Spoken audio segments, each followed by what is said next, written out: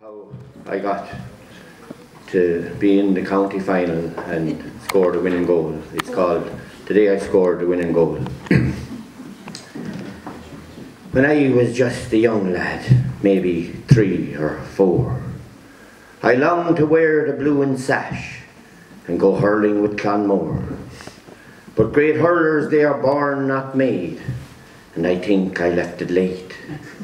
You see, I didn't get a hurley till I was 28. Still off I went to training to practice all the drills. I was handy at the running, but useless at the skills. A game of backs and forwards would very soon begin, but I was sent behind the goal to put the balls back in. I still encounter problems, for when I drew up the sliotar, no matter how I swung the hurl, I simply couldn't hit her. I didn't make the team that year, and I was very low. Back then, there was no live line, so I couldn't talk to Joe. Still, I turned up for the final and I togged out with the rest. The players all got jerseys. I just wore me vest. Well, our boys played with the wind in the first half, but the boys from the Glen, well, they played with the ball. So while we were playing with the wind and they were playing with the ball, the Glen boys scored 2-7 and our boys scored very little. The second half was better. We made a great comeback. With just five minutes left to play, we had them on the rack. Our boys leading by two points, the time was nearly up. Our captain, he was thinking, soon he'd lift that cup.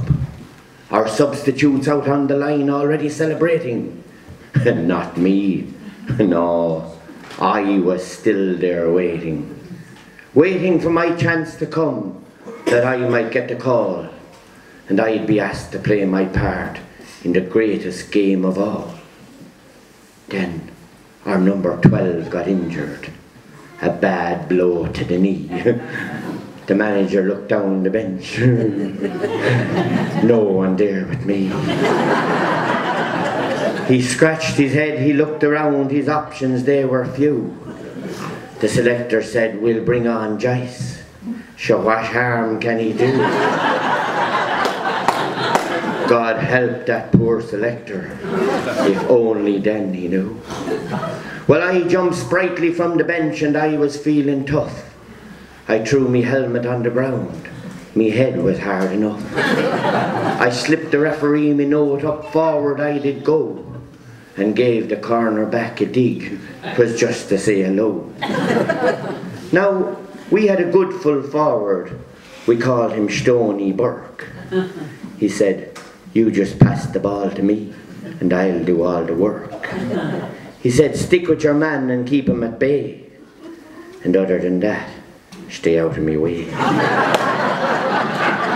well, no sooner had he spoke those words than the first ball came my way. I fixed my gaze upon it, and I began to pray. The corner back stuck up his hand, but I just stood me ground.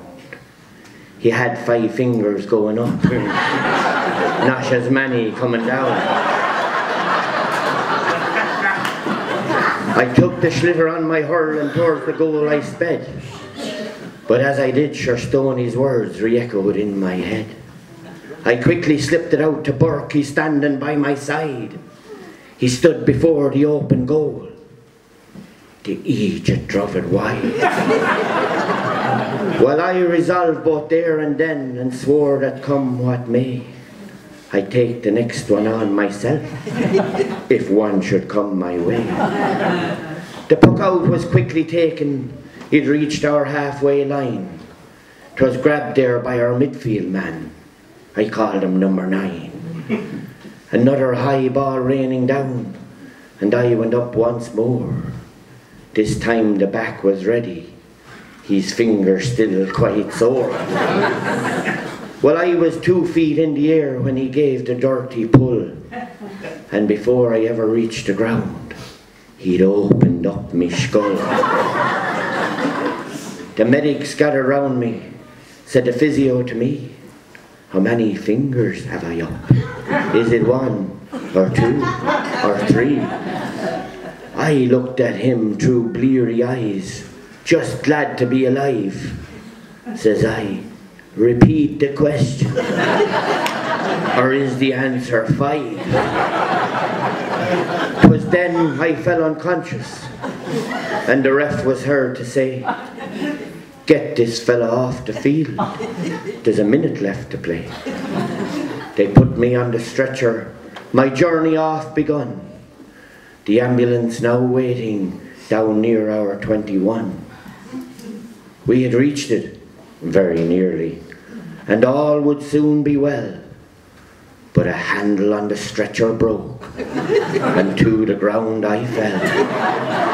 Another bad blow to the head. My eyes soon opened wide, and boy was I surprised to see the sliotar by my side. I took the sliotar on my hurl, I headed for the goal. I could hear the fans all roaring. I thought was, go on Noel. Well, I was only five yards out when my own full back I met as I unleashed a rasper into my own goal. The final whistle sounded. The Glen boys won the game. I realised what I had done. I hung my head in shame. I sneaked into the dressing room. My face in blood was plastered. The manager came in and said, Joyce, you stupid boy. Well, my career was over. There was nothing I could do. I'd ne'er pick up a hurl again, nor wear the sash and blue. Still I'll always be remembered, though I did this awful deed. For when I'm six feet under, my epitaph will read. Beneath this slab, Noel Joyce is laid. For the village team, one time he played. In the county final of 92, he proudly wore the sash and blue. It was he who scored the winning goal. May the Lord have mercy on his soul. Or